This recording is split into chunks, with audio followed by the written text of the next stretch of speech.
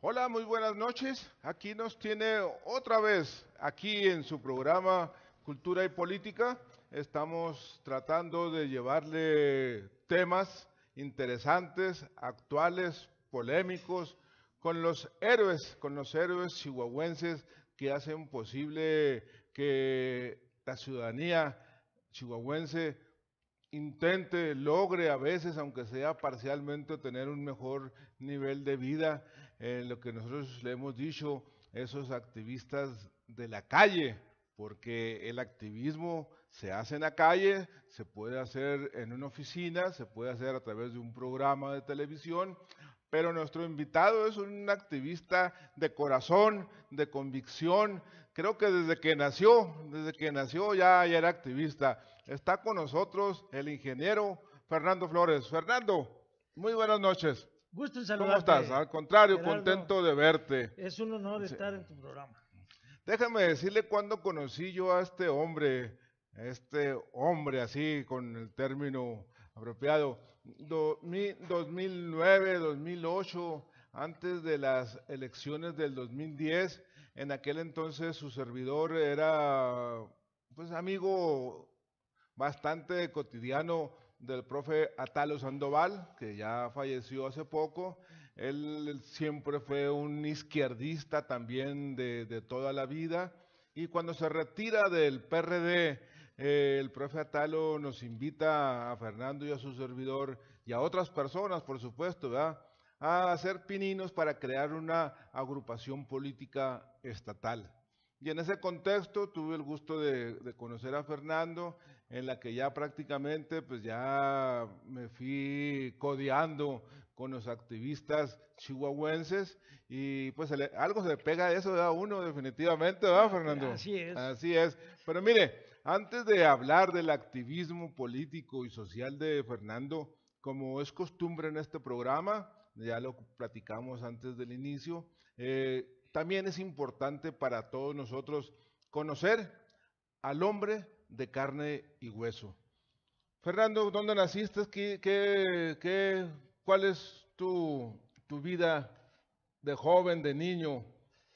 Gerardo, gracias por invitarme a tu programa. Un saludo a todo tu auditorio con todo el corazón. Gracias. Yo, por eh, eh, casualidad, nací aquí en la ciudad de Chihuahua, Chihuahua, pero me considero de Ignacio Zaragoza, Chihuahua, porque allá tiré el ombligo, como se dice vulgarmente, allá crecí y allá, como decimos en el rancho, allá mamamos las luchas sociales. Yo las viví desde muy pequeño, las aprendí por conducto de mis hermanos mayores, de mi madre y del ejemplo que me, narraban de, de mi padre José María Flores, que fue el fundador del ejido, el fundador del municipio y que tuvo que dar grandes luchas para obtener aquellas tierras de grandes latifundistas de la Alta Bavícora, como eran los, todavía son los señores Hertz, dueños de grandes eh, medios de comunicación en Estados Unidos. Y ahí empezamos las luchas desde muy pequeño y escuché y oí y sentí la represión del gobierno hacia mi padre, hacia mis hermanos. Este, tuvimos que eh, realizar eh, múltiples eh, acciones de defensa, vamos a llamarle así, ante la embestida permanente que le hacían a mi padre por ser un luchador social. Posteriormente, ya un poco más de joven, me toca participar también directa, indirectamente en la problemática de la historia del cuartel de madera. Me platicabas eso. Estamos hablando de un joven de 15 años en la que circunstancialmente fuiste un espía, algo así, eh, en, en aquel acontecimiento trágico de madera. ¿Con cuál, ¿Cuál fue tu papel ahí, Fernando? Bueno, este, días antes de que se realizara esta gran acción histórica, eh, por razones de carácter campesino, este, conocía la sierra y nos informan después del ataque al cuartel Madera que en un cañón que se llama el Cañón del Púlpito eh, había unas cosas abandonadas, decían los arrieros de aquel entonces, y que eran unos libros y que eran unas especies de bolas como parecidas a pelotas de béisbol envueltas en tape para aislar los cables y que había muchas eh, eh, como cartuchitos, etcétera, etcétera. Entonces se deducía inmediatamente que se trataba de algo relacionado con, con aspectos explosivos, vamos a llamarle en concreto, y aparte muchos libros que nos decía, ¿y qué libros eh, había? Pues había unos libros que decía La guerra de guerrillas de Mao Zedong. Ah, Como el ejército ya tenía copado toda la sierra en esos días, eh, la gente consideró importante que fuésemos jóvenes, muy jóvenes, para no despertar sospechas, a recoger ese material que había quedado en ese cañón.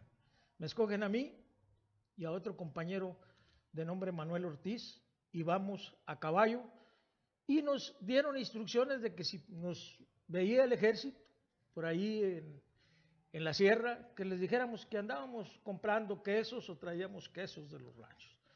Y en lugar de quesos traíamos realmente las mochilas que habían dejado los guerrilleros ahí por exceso de peso.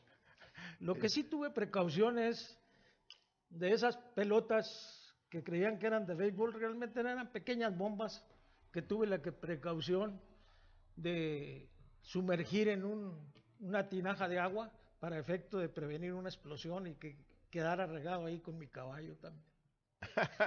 a los 15 años ya, ya andabas ahí en esas cosas. ¿Qué era emocionante? ¿Era riesgoso? ¿Qué? Era emocionante y era pues riesgoso, ¿verdad? Porque sabíamos que a dónde íbamos. Estábamos muy jóvenes, pero no desconocíamos la situación de fondo.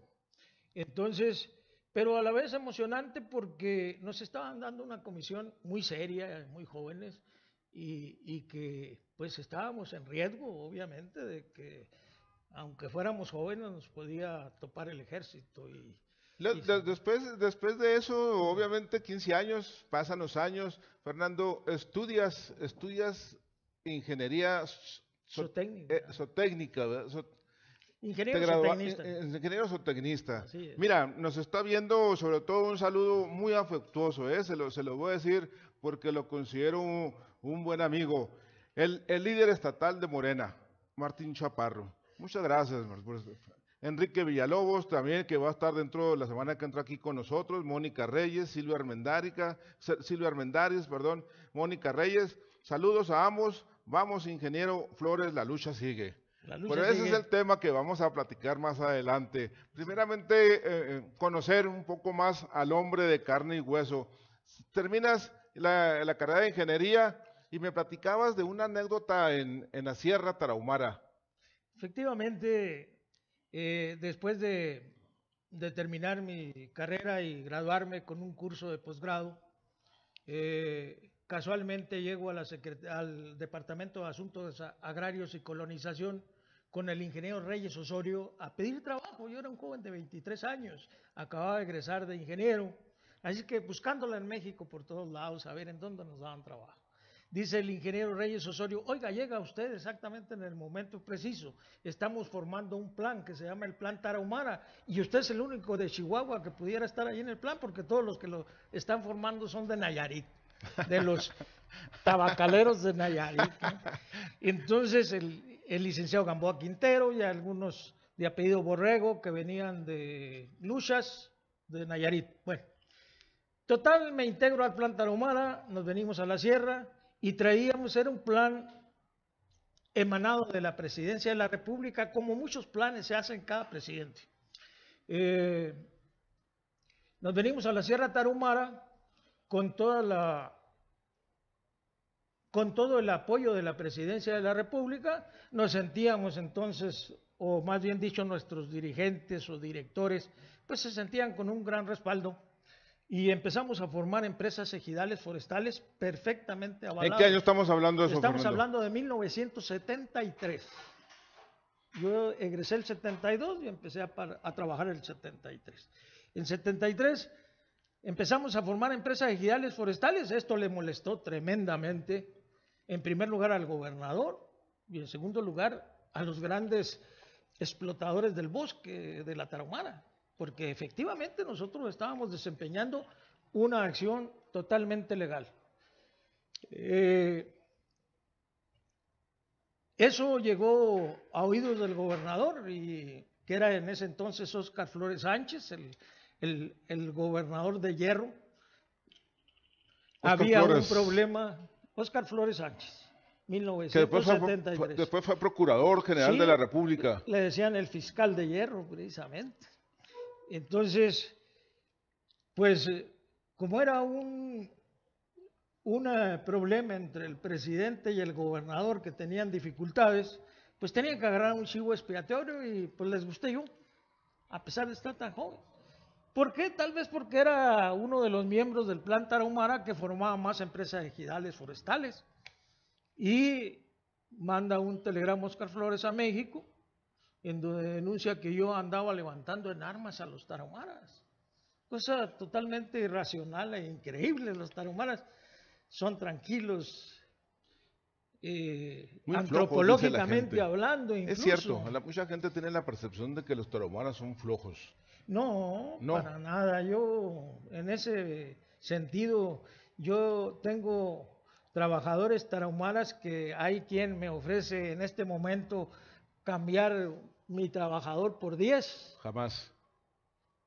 Ni por Así, 10. Ni por 10 lo Fíjate, cambio. Como es. Es, es, eh, totalmente falso. Son gente que hay que saber entenderle y, y comprenderle su forma de ser. Definitivamente, así es. Pero, ok, 25, 25, 25 años. Vámonos a los 35 años. ¿Dónde ubicamos a Fernando a los 35 años?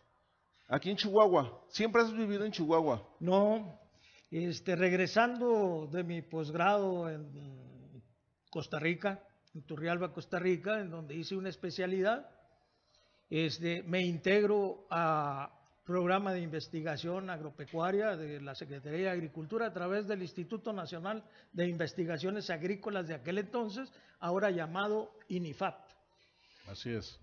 Trabajo unos años eh, en el INIFAP como investigador, aprendo a, a hacer muchos errores que no me cuestan porque le cuestan a- al gobierno, pero afortunadamente eso me consolida profesionalmente y posteriormente este, me invita el FIRA, el Banco de México, a trabajar con ellos en los fideicomisos instituidos en relación a la agricultura FIRA, que, era FIRA, una, sí, que ha sido sí. una institución de alto nivel técnico, lamentablemente también hay que decirlo, manejada por el Fondo Monetario Internacional, por el Banco Mundial, por el Banco Interamericano, de, de- etcétera. Apenas Pero como institución muy, muy reconocida mundialmente. Así es.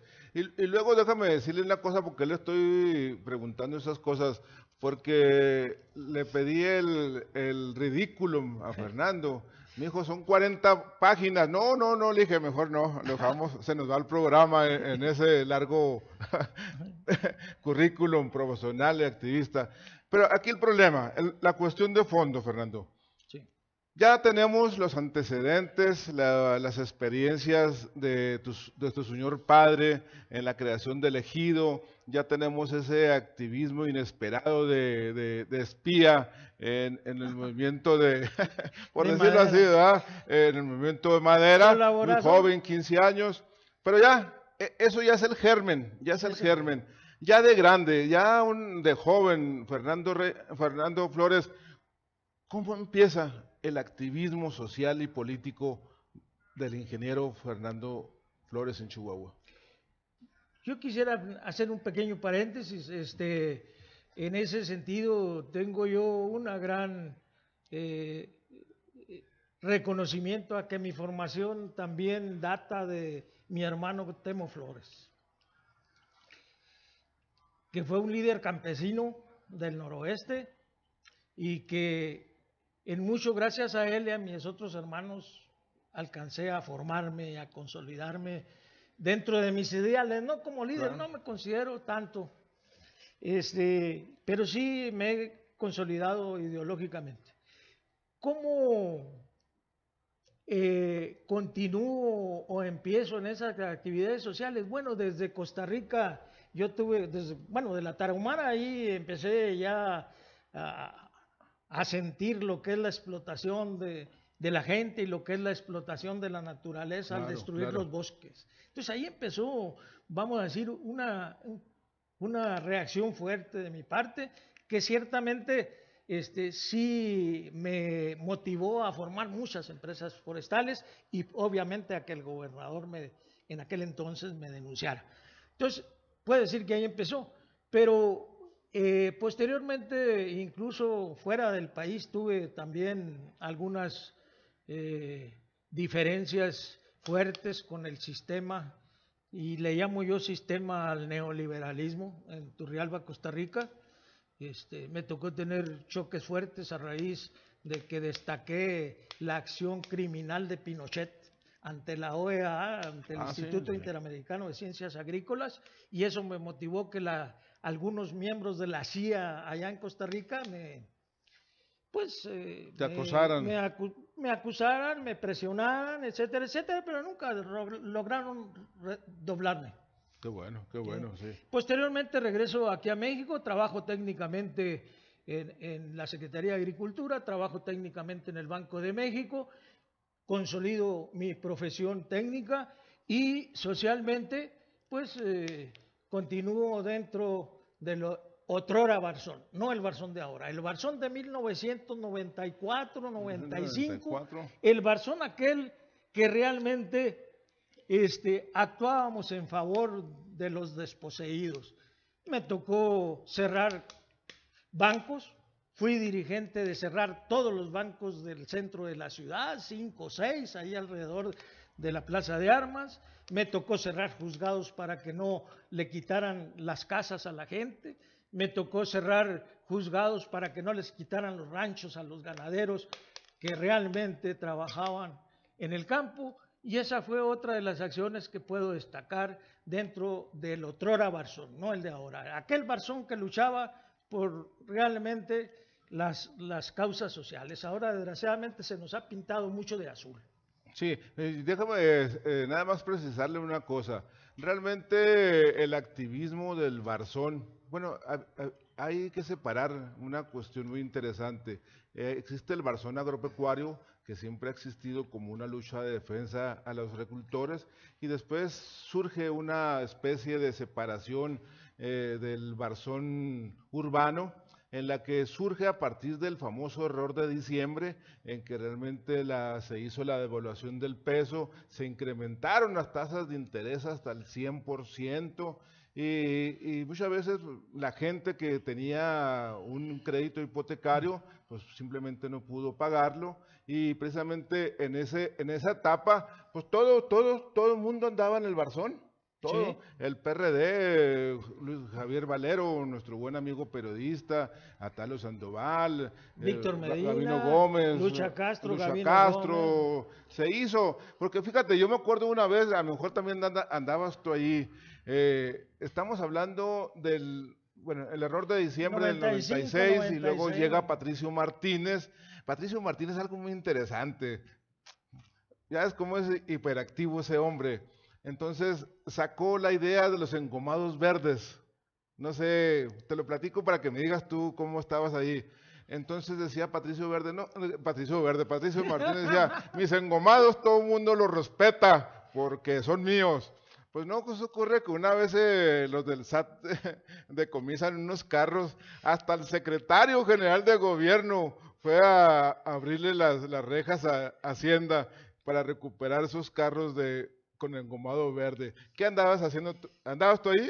Claro que sí, me tocó abrir las puertas de la aduana junto con el otrora luchador también Pavel Aguilar. Otrora digo porque mm. ahora pues, eh, como que le ha aflojado a esa lucha social y, está un poquito dentro del partidismo.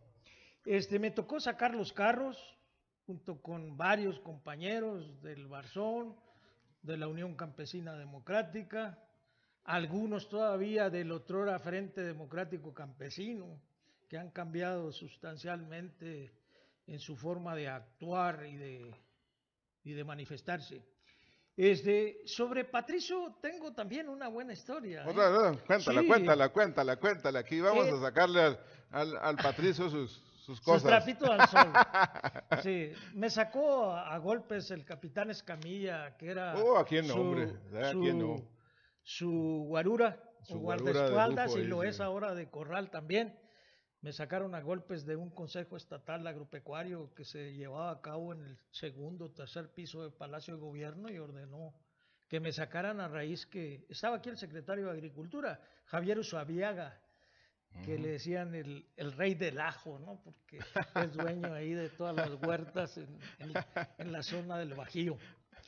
Entonces, este, pues yo protesté porque consideré que ese Consejo Estatal Agropecuario en ese momento pues no estaba manifestando realmente la situación del campo y pues eso ya habíamos tenido un problema en Cuauhtémoc, Patricio y yo.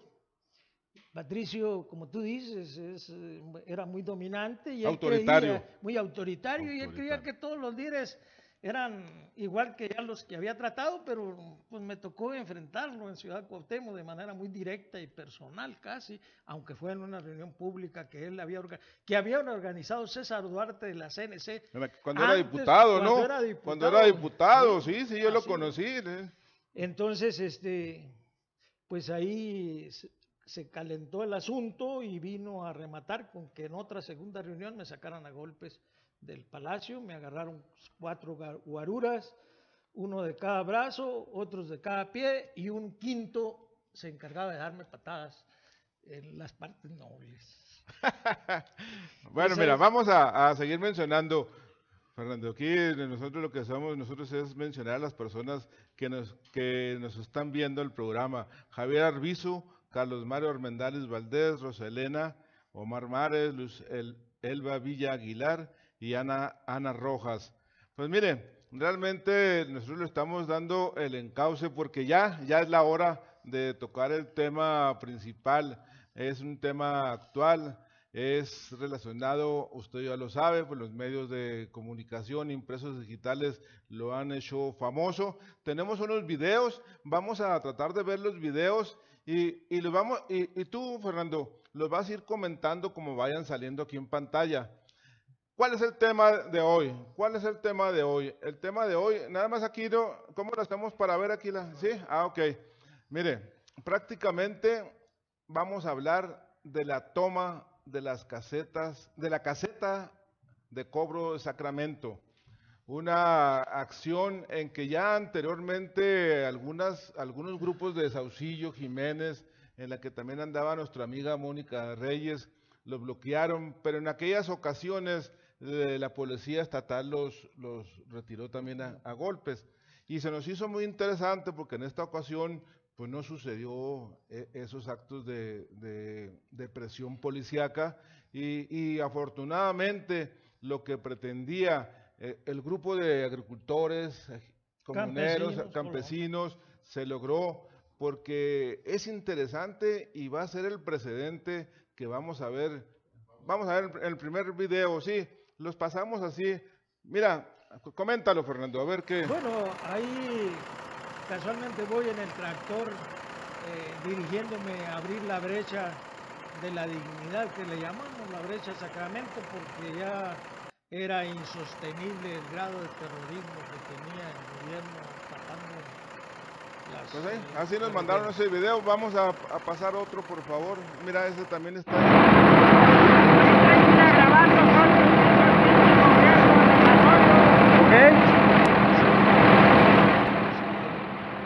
carretera es esa? Esa es la carretera eh, a Ciudad Juárez, precisamente. Una de ah, ellas. No, sí, sí, sí. Entonces ahí se ve el descuido que tiene. Ahí donde viene saliendo aquel compañero con su bicicleta es donde tumbamos nosotros las bardas y los portones que mandó poner el gobierno para evitar que los campesinos circularan por que datan de la colonia de cientos de años y que ahora el gobierno los tapa para obligar a la gente, a los campesinos, a los colonos a circular por la caseta de cobro y que no se les vaya ni un 5 en un afán recaudatorio.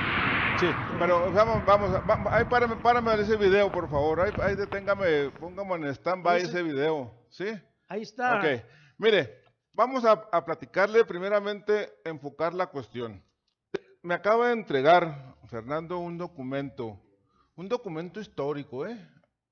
Le estamos, le vamos a comentar un convenio que en, el, en 1993 acababa de entrar Francisco, Francisco Barrio, ¿verdad?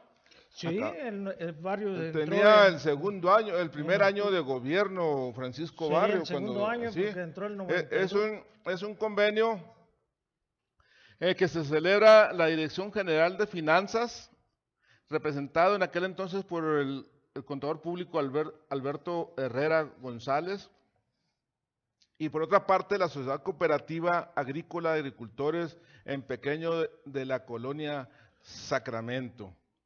Se lo voy a leer textualmente, ¿eh? se va a reír, le va a parecer muy interesante, porque eso lo dice, es una versión oficial de la postura del gobierno de Francisco Barrio. Así O sea, dice, la construcción de la autopista de cuatro carriles con una longitud de 595 kilómetros, misma que une las ciudades de Juárez y Jiménez, implicó un gran sacrificio económico tanto para el gobierno como, para la sociedad del estado de Chihuahua. Hágame, usted el favor, sí, sí. Y luego dice, la colonia, la colonia es el grupo de agricultores de Sacramento, dice, que está consciente de los graves perjuicios que causa la hacienda pública del Estado la evasión del pago de las cuotas de peaje, motivo por el cual ha decidido colaborar con finanzas a fin de coadyuvar en la solución de este problema. Que los caminos vecinales construidos en la colonia son para libre tránsito de los propietarios que tienen su domicilio o campo de cultivo en dicha colonia y que no se trata de servidumbres para personas ajenas a la colonia. Fíjense nada más las cosas que en 1992 se pactaban por escrito. Aquí tenemos la copia fiel, aquí está la copia de Alberto Herrera y por la colonia de agricultores Alberto Delgado Olivas. ¿Quién es él? él fue un eh, presidente de la colonia eh, Muy durante muchos años este, pues el propio contrato lo dice, ¿no? Automáticamente. Porque él se abroga un grupo de una sociedad cooperativa que puede estar constituida por tres gentes, presidente, secretario y tesorero, se abrogan el derecho de hablar por toda una colonia. Es, ese, este contrato es ilícito desde ese preciso no, y divertido ya. Sí, con los divertido. Pero, mira, pero para que se divierta más. ¿eh? para que se divierta más, le voy a leer las cláusulas. La colonia autoriza a finanzas, o sea, al gobierno del Estado, a que instale los portones que sean necesarios a fin de evitar el tráfico de vehículos ajenos a los integrantes de la colonia. ¿Qué le parece? Otra, los propietarios podrán disponer de las llaves de los portones que se instalen cuando así lo requieran, las cuales estarán en custodia de la caseta de cobro. Finanzas se obliga a proporcionar a la colonia engomados y boletos preferenciales sin costo para el cruce de la caseta del peaje Sacramento. Última, Finanzas, de considerar lo necesario, instalará letreros que indiquen que el uso de los caminos vecinales de la colonia es exclusivo de los integrantes de la misma. Pues Digo, parece chiste, Pero, aquí está, fíjese, nada más. Pero ya tenemos un precedente, Fernando que ya se establecía que se iba a dar un, engomados y boletos preferenciales sin costo. ¿Se dio quizás? No cumplieron ni siquiera con la primer cláusula de siete. ¿Verdad? Entonces, absolutamente jamás, jamás se dio el paso como está establecido. En 1900 90, yo soy vecino desde entonces en la colonia Sacramento y a 400, 500 metros de la caseta de cobro, pasando la caseta de cobro. Efectivamente, estuvieron entregando boletos en aquel 1993, pero eran boletos que nos costaban 5 o 6 pesos, jamás se, nos dio se nos dio gratis, como lo dice ese convenio. Esa es una absoluta y total mentira. Pero peor aún es que fueron unos cuantos meses los que se dieron a cinco pesos, le inmediatamente le subieron a siete, luego a diez y a quince, total que poco a poco incluso fueron rasurando el padrón, de tal manera de que, de que todos pagáramos en su caso. Entonces, pues ante esa situación, yo desde aquel entonces me opuse, tuve una confrontación muy fuerte con un guardia de la caseta que trajo como consecuencia posteriormente que me, supiera, me suprimieran mis engomados. Entonces, desde Francisco Barrio ya tuvimos un problema y casualmente con otro gobierno similar como es el de Corral, la cosa se agrava. No, definitivamente. Se agrava porque lo podemos ver ahí. mire, ahí, ahí, estamos viendo en pantalla, esto lo está viendo en pantalla. A ver, Fernando, tú coméntalo. Mire, ahí está claramente donde los caminos de los campesinos son saboteados por el gobierno, saboteados de una manera criminal que se puede llamar incluso terrorismo de Estado. Ahí están los caminos y cómo les abrían zanjas para obligar a los campesinos este los a pagar por la caseta de cobro. Esta fue la situación que desató. Que, que, que, desbordó en esta ocasión. Sí, es porque ahí en ese camino me encontré campesinos, trabajadores con cargas de ladrillo que tenían que durar medio día tapando con pala esas zanjas para poder pasar porque no tenían con qué pagar la caseta. Dijimos, esto ya no se puede soportar y procedimos en consecuencia en, eh, compañía de las organizaciones que componen la Asamblea Popular Comunitaria, procedimos entre todas las organizaciones luchadoras en realidad a tumbar esos portones y esas bardas. Lo hicimos desde el día 10 de abril y hasta ahorita sigue la brecha abierta y sigue la lucha de 3.000 compañeros que requieren el paso libre en la caseta. Definitivamente. Mire, e, eso, esos ollancos obviamente los hace el gobierno del Estado, ¿verdad? Sí, ah, y nos amenazó con que ahora nos va a hacer ollancos de 5 metros de profundidad. O sea, ah, lo, está bien. Eh, lo acaba de, de, decir los de Hacienda ahí en las comunidades. No, y les vamos a tapar la brecha y les vamos a hacer ahora zanjas de 5 metros. Pero, pero Entonces le decimos, ándale, luego, luego. me, me, platicabas cómo en tiempos de, lluvias, cuando la gente quiere evitarse el, paso por las casetas, se atascan y se... Es, tan grave que la gente este buscando, camino. Este, eh, pasar por algún lado porque no traen con qué pagar la caseta, se venían por el arroyo de Sacramento, que está seco pero está lleno de arena. Entonces, tanto se atascan en el lodo como se atascan en la arena. Ahí encontramos todos los días gente eh, que no podía salir de la ahí, atascada en la arena. Hay que tener un tractor ahí a la mano para, poderlos pasar ahí. Incluso se atrevieron se atrevió el gobierno o los que manejan estas casetas a hacer zanjas en el arroyo tampoco para que pudiera pasar la gente. O sea, ya una situación de veras insoportable. Que no digan que esto sale porque a uno se le antojó estar en contra del gobierno. No, estamos en contra del terrorismo del gobierno. Por eso, ante estas situaciones, pues se desató el movimiento de Sacramento y lo desatamos varias organizaciones a las cuales hay que darles crédito como es debido y como fue los compañeros de Amotac, de la Asociación de Traileros, los compañeros de la Unión Campesina Democrática, los compañeros eh, que están dentro de la lucha de recuperar lo que se les debe, los braceros, los compañeros de Somos Más de Tres, Mónica Reyes, el compañero Fidel Chávez, Mario Lerma y varias organizaciones de, de, la, de, de, la, Unión Nacional de Trabajadores Agrícolas de la UNTA y gracias a la colaboración de todas estas organizaciones, une más que dirige el compañero César Augusto Gutiérrez Fierro, que es eh, un eh, gran activista y todos los compañeros que nos han apoyado y que no nos han dejado solos en esta lucha. Se, había dicho que se estaba haciendo un censo, Fernando, para dar engomados o algo así. ¿Qué, cómo, qué es cierto? ¿Cómo va el avance eso? ¿Qué? Sí, efectivamente. Eh, y, valga la oportunidad para aclarar que sí tuvimos eh, la amenaza de la policía, incluso nos mandaron más o cerca de 100, eh, agentes. 100 antimotines. Antimotines definitivamente iban a actuar cuando nos tumbamos las bardas el 10 de abril.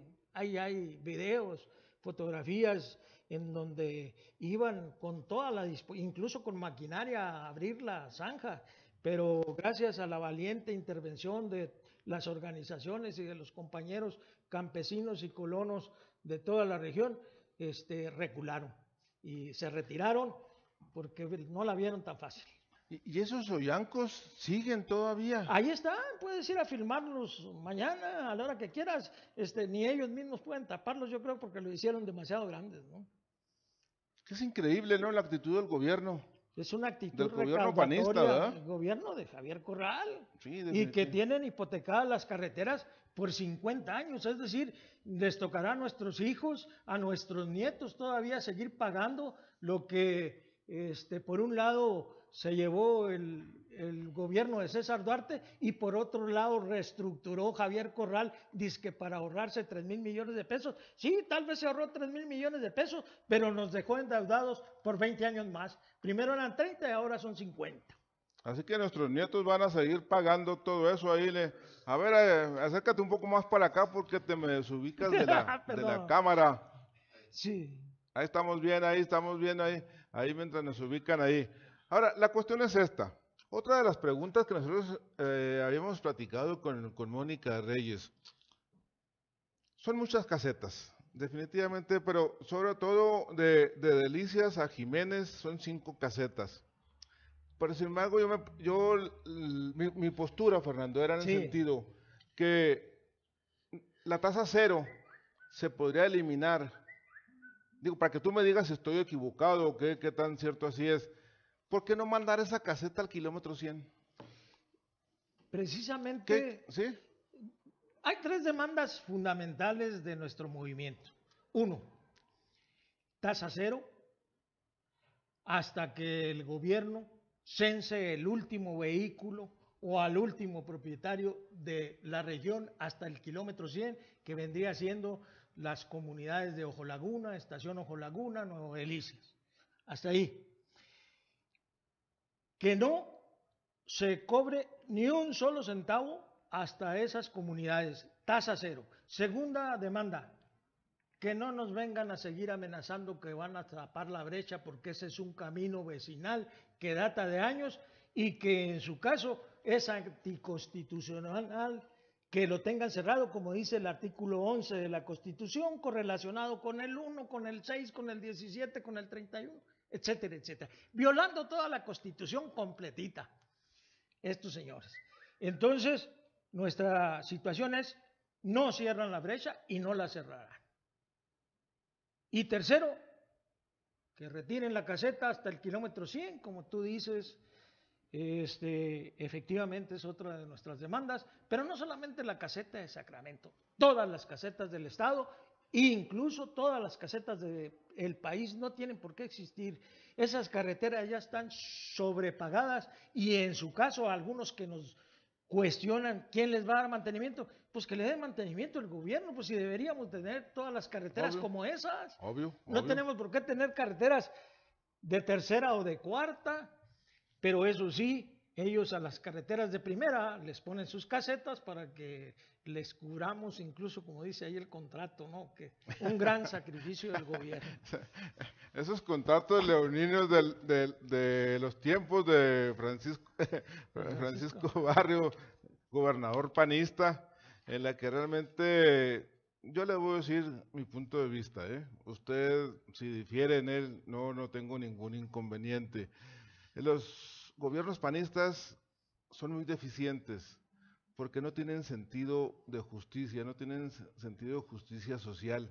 Ellos, como está diciendo Fernando, eh, ellos ven el, el gobierno como un negocio. A mí me tienes que pagar tanto porque yo necesito tanta lana y, y no ven la afectación, la afectación directa a la sociedad, el que le producen a la sociedad.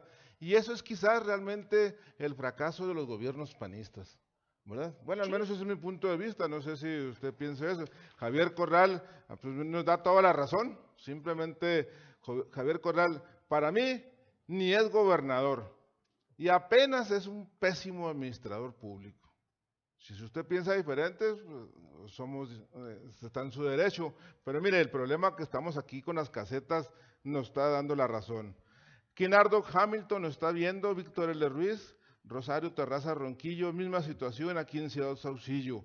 En Saucillo, ya ve, eh, estábamos platicando, e inclusive una vez que vino Mónica Reyes aquí en el programa, eh, pues se vio el, impacto de la, gente. A lo mejor, Fernando, fue, fue poca gente, que si hubiera ido más gente, a lo mejor no hubiera habido esa, esa fuerza, el uso de esa fuerza pública excesiva, ¿eh? excesiva, porque es gente que, no trae armas, no trae intención de golpear a nadie, sino simplemente exigir sus derechos constitucionales.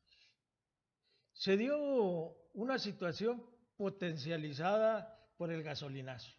Entonces ahí eh, ya se había formado un frente más amplio y le entraron con todo el gobierno a parar eso. ¿Por qué? Bueno, pues porque simple y sencillamente es plan neoliberal de entregar el país en, en mazorca, como decimos nosotros. Entonces, por esa razón, defendiendo hasta lo último el modelo eh, esquilmante económico del gobierno de México, pues mandaron todas las fuerzas a reprimir cualquier acción. ¿no? nosotros tomamos la carretera de Sacramento, que fue una de las acciones más fuertes, porque se hicieron filas de seis kilómetros de trailers, etcétera, etcétera. Y fue muy duro el movimiento de Sacramento. Mientras que Javier Corral por acá decía que se solidarizaba, solidarizaba con el, el, las protestas contra el gasolinazo, por otro lado nos mandaba a los antimotines a desalojarnos.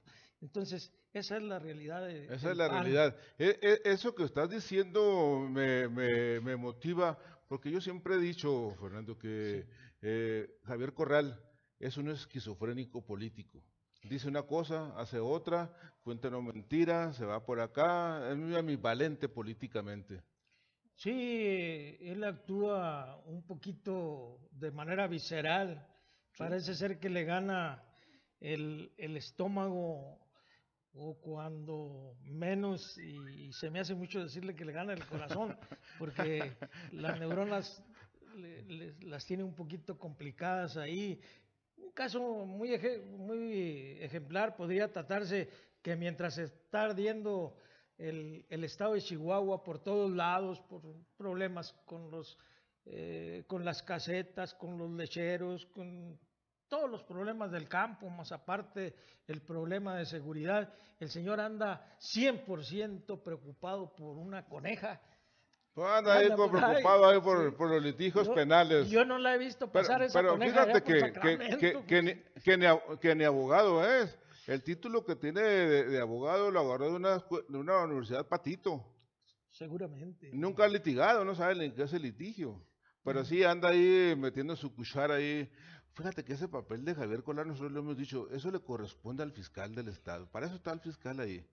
Pero Javier Colar con su protagonismo mediático se mete hasta donde no le...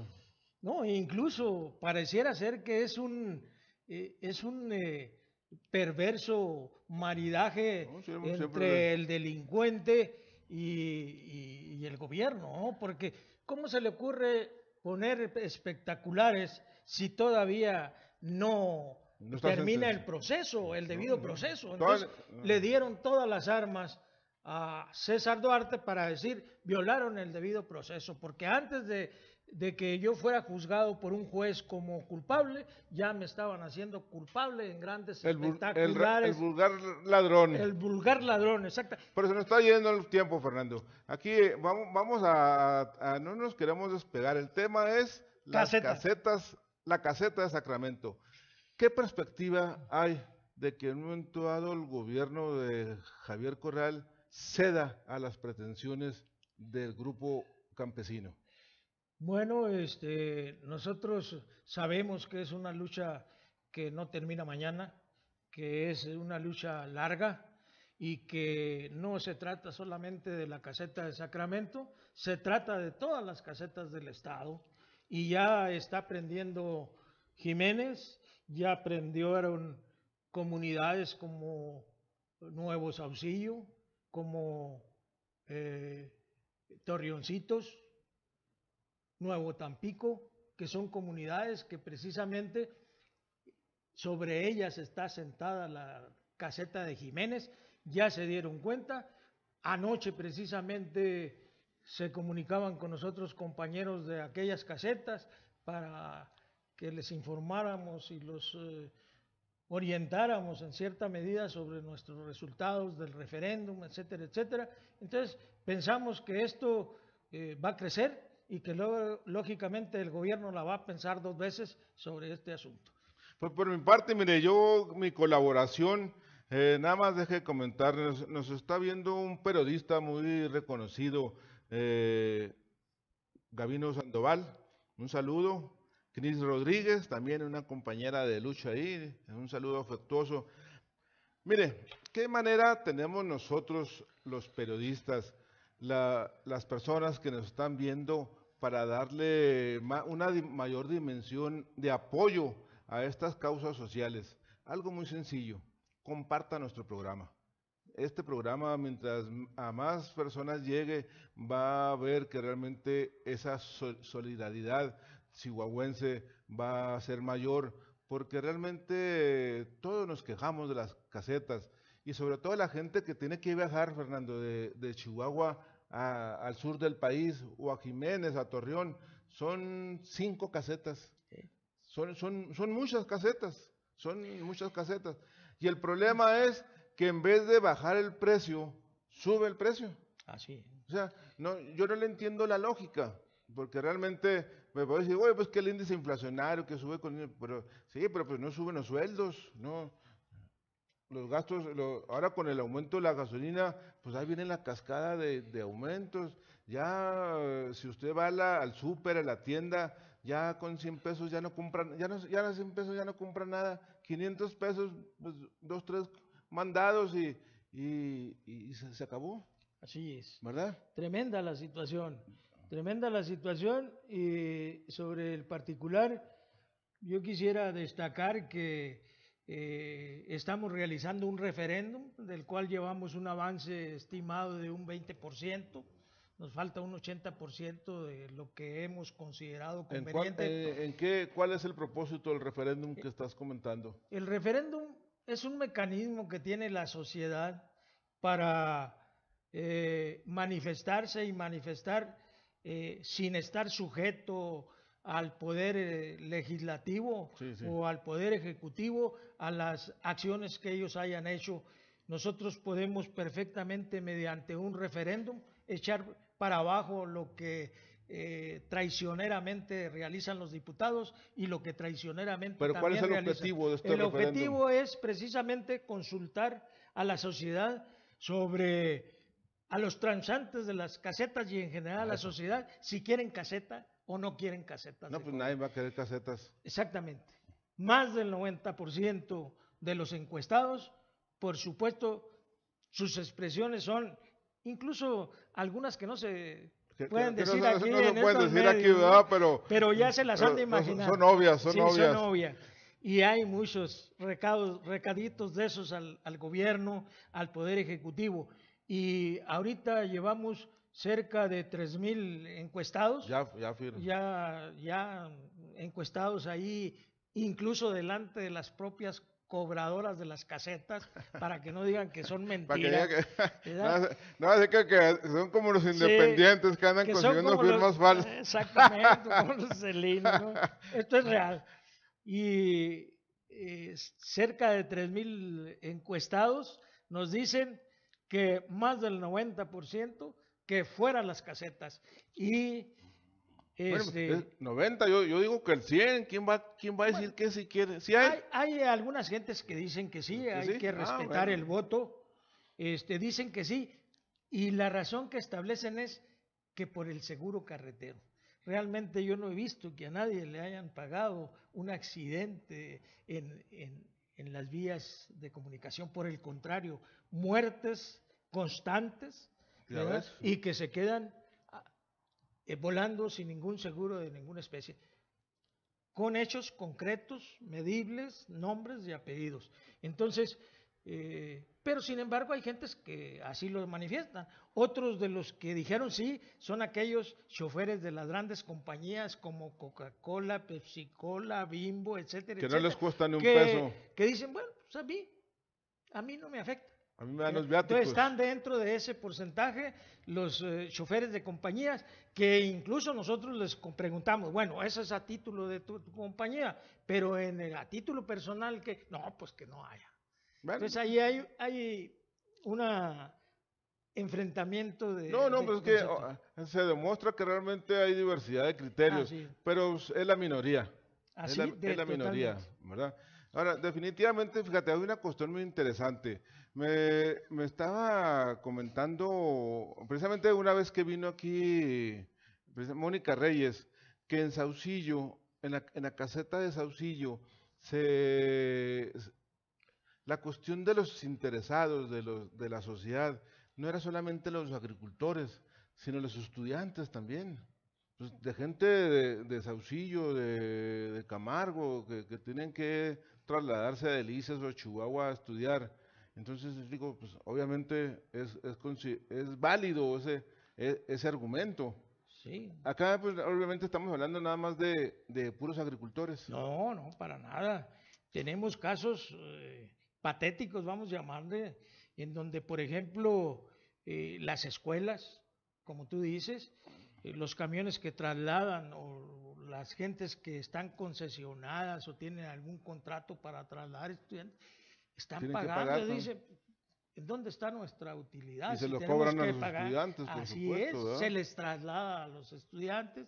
Tenemos casos de emergencias incluso que han tenido que detenerse en la caseta porque tienen que pagar y pues cómo va a pagar, por ejemplo, una emergencia de un herido, un accidente, etcétera. Pues lamentablemente este, tenemos esos ejemplos patéticos. Pero volviendo al tema, ¿Qué, ¿Qué opinas tú de la reacción, de la conducta que ha tenido el gobierno del Estado? Pues eh, ha tenido una conducta totalmente reprochable porque ha mandado a negociar a terceros niveles, a negociar con nosotros, con las agrupaciones que dirigimos este movimiento y manda a terceros, a tercerones vamos a llamar. Y al inútil de Joel Gallegos también. No, afortunadamente ese desde un principio les dijimos que ni se aparezca. que, no quiero nada. que desaparezca aquí ese individuo. Eso es desde el principio. No, no, felicito. No, no, un inútil ese. No, no, no, qué bueno que me dices eso. Gerardo, gracias por la precisión. Y gracias, obviamente, desde ahorita te las doy por ese sentido, Queremos por ese contenido social que tiene tu programa. No, hay nada personal, simplemente estamos viendo. Es, es, no hay nada personal, pero desgraciadamente sentimos los efectos y está como director de gobernación para resolver los problemas, no para hacerlos más grandes. ¿Y César qué hace pues? Nada. Ni se para ahí. Pues lo veo muy gordito, no sé. Si Eso nomás es cuando lo invitan a los bailes, ¿no? este... Nos quedan tres minutos de tiempo. Le, se está haciendo costumbre, pero sí me, me gusta la idea. Eh, yo por mi parte me despido. Nos vemos el próximo lunes. Le voy a dejar que se despida con lo que quiera decir nuestro invitado, el activista de la calle el ingeniero Fernando Reyes. Fernando, tienes la cámara ahí. Tú terminas el programa en lo, que quieras expresar al auditorio. Gracias, Gerardo, por este espacio valioso, porque necesitamos muchos periodistas con esos eh, convicción. Y yo quiero despedirme de tu público diciéndoles que todos somos afectados por estas casetas anticonstitucionales y que debemos de sumar esfuerzos para seguir adelante y que no se trata solamente de la caseta de Sacramento ni del problema de las casetas. Las casetas es un de tantos problemas que tenemos en México. Vienen otros muy relacionados con esto, con el agua. Hay una explotación criminal de los mantos freáticos, se está entregando a las compañías transnacionales nuestra agua de una manera criminal y seguirán luchas por el agua. Y tal vez estas luchas por el agua lleguen a ser mucho más sentidas y mucho más sufridas por los habitantes. Así es que lo de las casetas ciertamente es, es un asunto que ya nos llegó al colmo, ya no tardamos en que la problemática del agua tenga la misma tesitura. Yo me despido de tu público diciéndoles que muchas gracias por su atención, decirles que este movimiento no se quiebra, que este movimiento sigue adelante y que con el apoyo de todos ustedes nos fortaleceremos. Muchas gracias por su atención.